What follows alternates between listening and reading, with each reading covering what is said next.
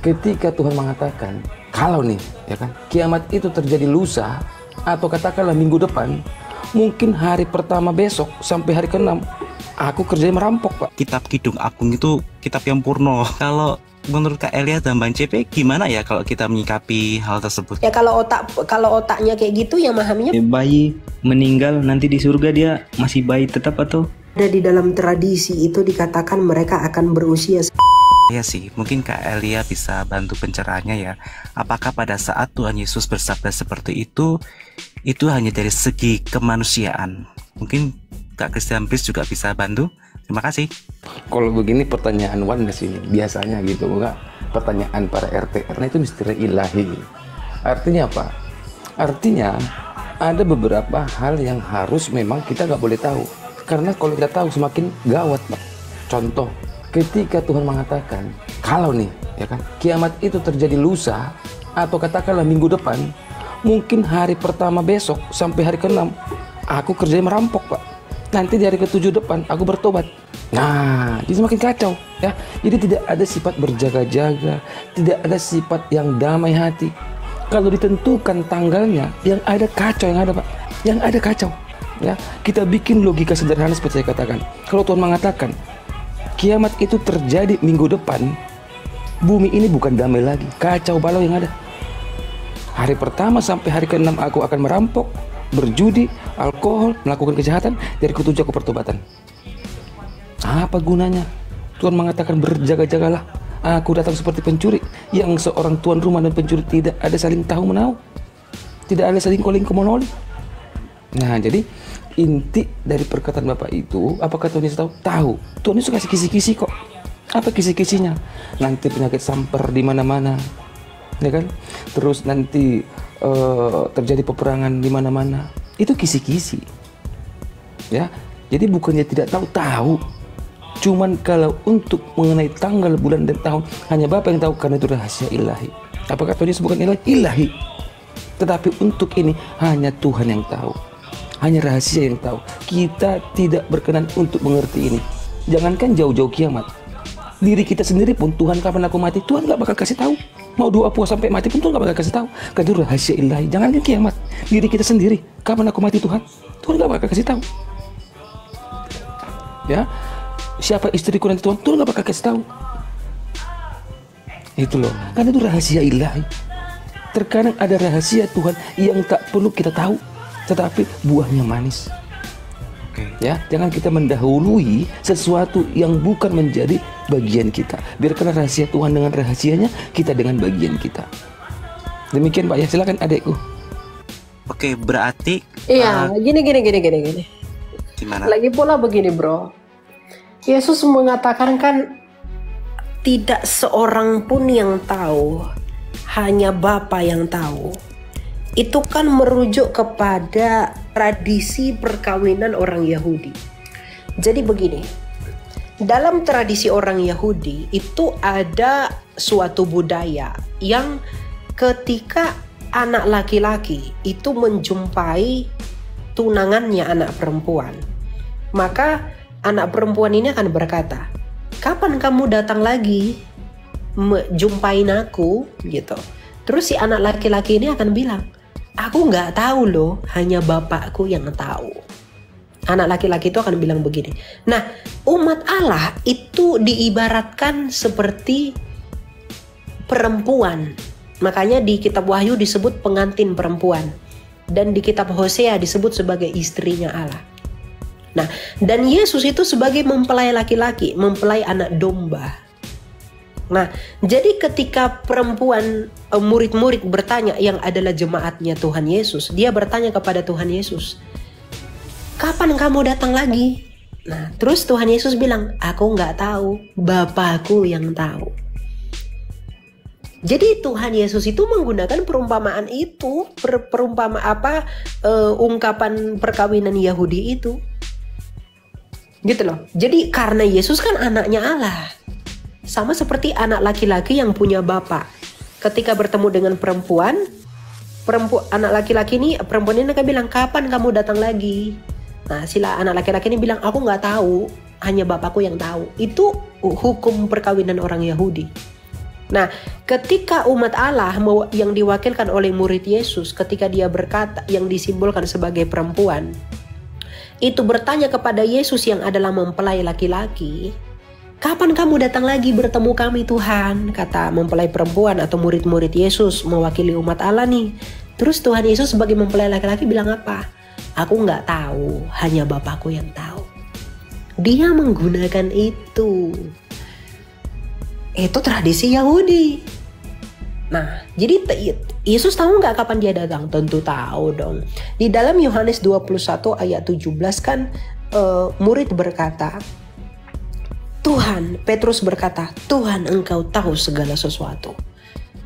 Petrus tidak menyangkali bahwa Tuhan Yesus itu tahu eh, Tuhan Yesus tidak mengatakan oh bukan aku nggak tahu segala sesuatu. Kamu jangan ngomong gitu. Tuhan Yesus nggak ngomong begitu. Gitu loh. Jadi dia tahu kapan dia akan datang tapi tadi yang disampaikan Bang CP itu bukan bagian kita untuk mengetahuinya dan Yesus Tuhan Yesus dalam memberitahu itu dia menggunakan perumpamaan orang Yahudi itu. Apakah orang Yahudi itu eh, ada yang protes bilang "Oh, berarti kau nggak tahu nih segala sesuatu Tuhan. Ah nggak Tuhan kau berarti. Nggak mau aku percaya samamu. Nggak tahu buktinya buktinya kau nggak tahu kapan kau datang. Ada nggak murid yang ngomong begitu nggak ada. Kenapa? Karena ungkapan itu diketahui oleh orang Yahudi secara persis bahwa itu tidak merujuk kepada ketidaktahuan Yesus, tapi merujuk kepada budaya keyahudian yang digunakan Yesus untuk menarasikan dan memposisikan dirinya sebagai seorang Yahudi. dapat Iya. banget sih eh, poinnya bahwa kita mungkin Tuhan ya pada saat itu eh, nggak ngasih tahu data pastinya supaya kita senantiasa berjaga-jaga dan menjaga kekudusan ya. Iya, poin Bang CP itu tadi udah bener itu. Gitu. Ya, Satu lagi boleh kak? nggak boleh boleh silakan. Oke, eh, ini sebenarnya juga eh, menjawab tuduhan para tetangga sebelah sih, yang menyatakan bahwa kalau kitab Kidung Agung itu kitab yang purno. Nah, kalau menurut Kak Elia dan Bang CP gimana ya kalau kita menyikapi hal tersebut gitu loh? Ya kalau otak kalau otaknya kayak gitu ya memahaminya bakal kayak gitulah. Kita orang Kristen para rasul nggak pernah memahami itu sebagai kitab kayak gitu. Cuma kalau mereka kayak gitu pikirannya ya bakal maknanya kayak gitu gitu loh. Kamu kasih mutiara kepada babi ya itu nggak akan dihargai. Itu akan diobrak-abrik jadi kotorannya. Jadi segala sesuatu yang dia lihat kalau pikirannya sudah rusak akan menjadi rusak. Sama seperti seindah apa pun kamu berikan bunga kepada orang yang rabun, dia tidak akan bisa melihat itu dengan jelas karena dia tidak tahu itu gitu. Emang pernah nggak para rasul menolak itu? Pernah nggak bapak-bapak gereja mengkritiki Kidung Agung, Song of Solomon itu? Pernah nggak? Hmm, ini nggak boleh nih, ini ini ini kitab apa? Kitab eh, titik-titik. Pernah nggak? Ada nggak dalam sejarah gereja begitu? Ada nggak orang Yahudi yang pernah ngomong begitu? Mana ada? Cuma mereka yang ngomong begitu. Karena memang pikirannya udah begitu. Wong nanti di surga begituan kok, gitu loh. Oke. Jadi ya ngapain kamu berikan mutiara kepada itu Kidung of Salomo itu tuh songs. Itu lagu-lagu Putri Sion itu diibaratkan sama seperti di dalam Hosea. "Tuh, Kamu telah berzina meninggalkan aku kata Tuhan. Kalau mereka baca itu mereka pikir Tuhan itu punya istri. Padahal itu bahasa simbolis bahwa umat Israel itu digambarkan sebagai wanitanya Tuhan dan Tuhan adalah suaminya as simple as that gitu loh. Cuma kan kalau memang orang yang kerjaannya begitu ya mikirnya kan begitu. Jadi nggak perlu heran lah. Yang Katolik kalau saya Nasrani ya. Kamu apa? Nasrani ya. Nasrani itu bukan ya. Kristen ya. Iya, Protestan maaf ya. Ya jangan pernah sebut dirimu Nasrani. Nasrani itu adalah sekte. Itu bukan Baik, Kristen. Iya. Nasrani itu tidak sama dengan Kristen. Nah lanjut. Kamu Protestan lalu? Ah, saya ingin bertanya mengenai ah, saudara-saudara kita yang Katolik ah, Hmm. mengenai ah, Bunda Maria baik maupun gambar ah, gambar-gambar Tuhan dan juga ah, patung karena ah, saya butuh pencerahan karena yang saya baca tapi saya lupa di ah, kitab apa yang mengatakan bahwa ah, jangan membuat bagimu patung yang menyeru- menyerupai apa pun dan kemudian jangan sujud menyembah ini yang menjadi uh, mungkin saya bisa minta pencerahan dari kakak berdua mengenai bagian-bagian ini. Hmm, mengenai patung ya, patung. Iya, Hmm. patung. Iya. Pernah nggak orang Katolik menyembah patung? Nggak pernah. Tadi saya sempat ikuti Nah, mereka. artinya Iya, iya, iya. Katolik itu tidak menyembah patung. Tapi kenapa di Katolik itu banyak patung-patung? Patung-patung di Katolik itu disebut dengan teologi dalam ukiran, ya. Jadi melalui ukiran-ukiran kita berteologi. Ada patung-patung sama seperti gereja ortodoks, ya. Teologi dalam warna, gambar-gambar. Melalui gambar-gambar kita bisa memiliki pemahaman teologis. Kalau orang Katolik itu melalui patung dan ukiran-ukiran mereka memiliki pemahaman teologi dari sana. Mewartakan, mengekspresikan iman di dalam patung. Sama seperti orang ortodoks mengekspresikan iman di dalam gambar-gambar. Nah, tentang patung-patung kan patung kan dilarang, dilarang. Tapi kalau patung untuk menyembah patung itu. Kalau kamu melihat misalnya di bait sucinya orang Israel. Di dalam Bet Hamikdas emang nggak ada patung? Banyak patung. Dua kerub yang diukir dari emas di atas tutup pendamaian. Itu patung itu. Orang Yahudi sujud ke situ. Tapi apakah mereka menyembah patungnya? Itu kan tidak. Mereka menyembah apa yang diekspresikan dari patung-patung itu mereka tak sembah patung itu tapi mereka sujud. Gitu loh kan bukan begitu. Jadi kalau orang Katolik berdoa menghadap patung bukan berarti mereka menuhankan patung itu. Tapi mereka berdoa kepada apa yang mereka ekspresikan melalui patung itu. Gitu. Jadi itu media namanya. Media untuk menghayati. Iya. iya. Baik. Orang Katolik di mana pun Tapi- bisa berdoa tidak mesti ada patung Benar. Iya. gitu ya Baik Iya. ya. Habis soalnya saya bacakan larangan pertamanya itu jangan membuat, kemudian larangan kedua jangan sujud menyembah. iya Itu yang Jangan menjadi sujud eh, betul Oke, boleh saya tambah adikku? iya silakan Iya, jangan membuat patung lalu bersujud. Iya. Semuanya, ya kan? Nah, itu artinya membuat patung bisa nggak pak? Membuat patung bisa nggak pak? jangan membuat bagimu yang menyerupai Oke. apa pun. Ya. Iya, bapak kita harus fokus pak ya, karena saya itu orangnya mencerdaskan pak. Maaf nih, kalau firman Tuhan mengatakan jangan buat patung menyerupai apa pun untuk disembah, pertanyaan saya boleh nggak buat patung pak? Nggak boleh. Aku ulangin, jangan buat patung di hadapanku menyerupai apa pun lalu menyembah. Itu jangan. Pertanyaan saya, boleh nggak bikin patung, Pak?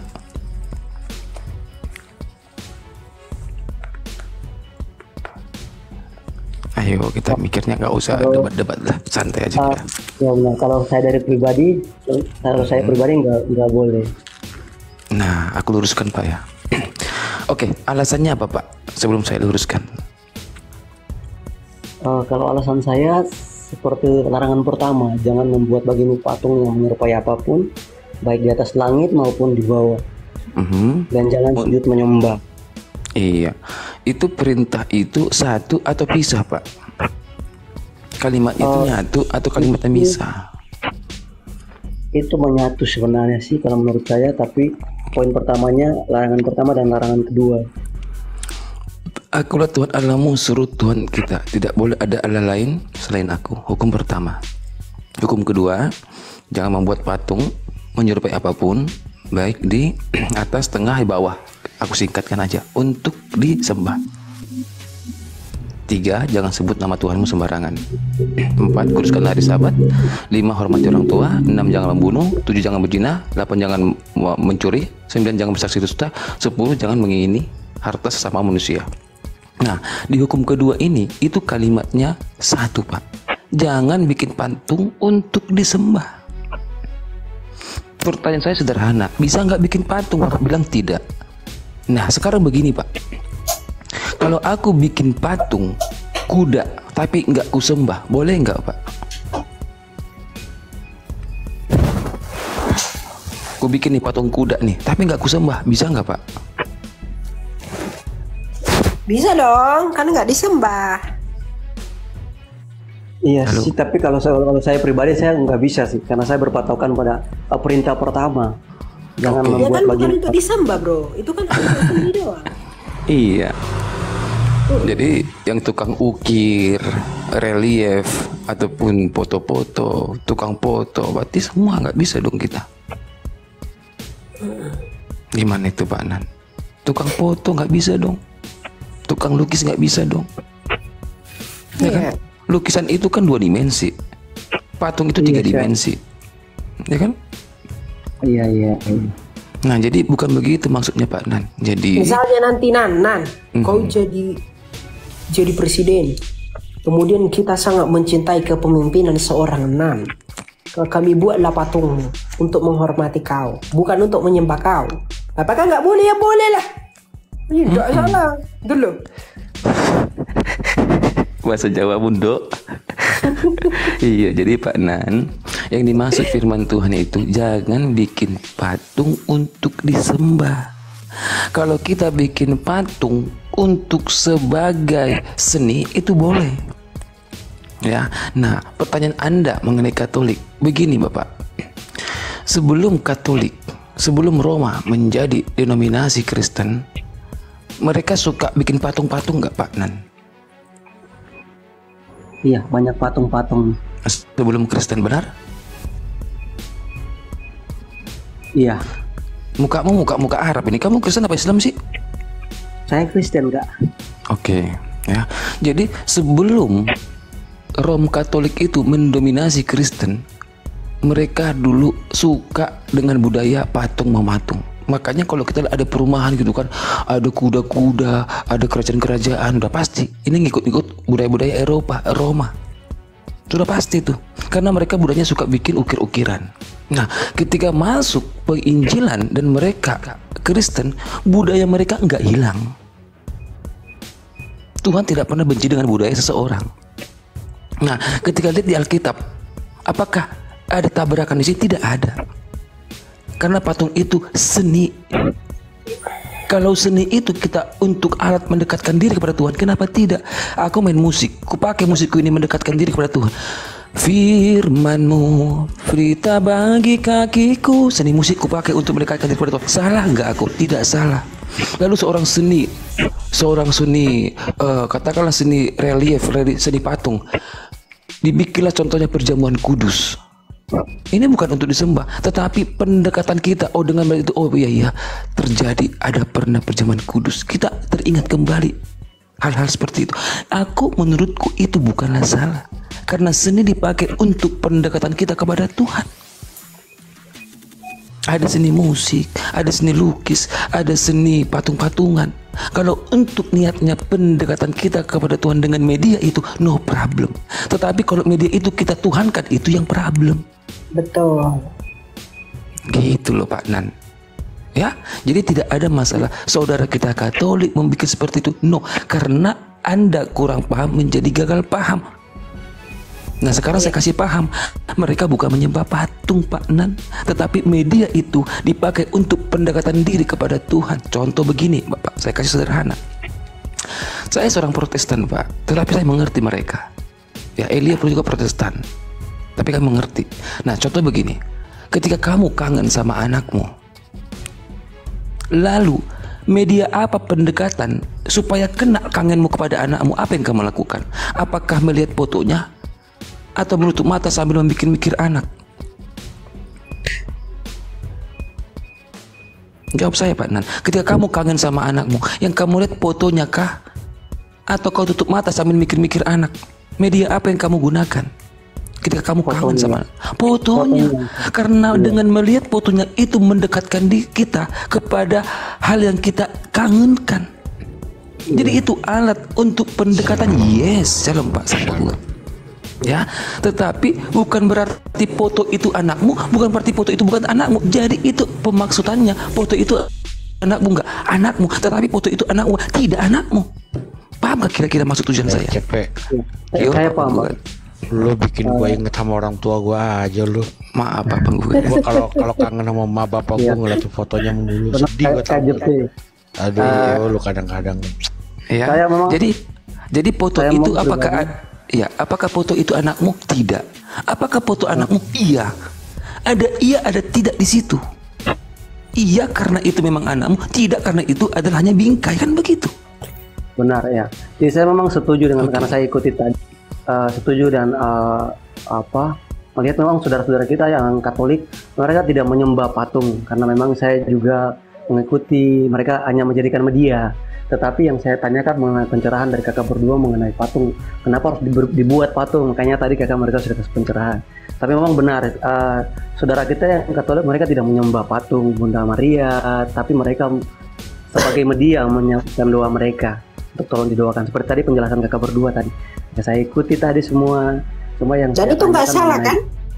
kan iya memang nggak salah cuma yang saya Udah lah, uh, udah beres, sudah kiri. minta itu Udah. soalnya di kota kami itu gini kak di kota kami itu uh, mereka membuat patung dan berikan nama itu uh, patung Kristus atau patung Raja patung Yesus Ya Di kota kami. masalah. Mau dibilangnya patung Mesias Raja semesta alam enggak masalah. tapi Kan, kan tapi mereka juga. mengekspresikan.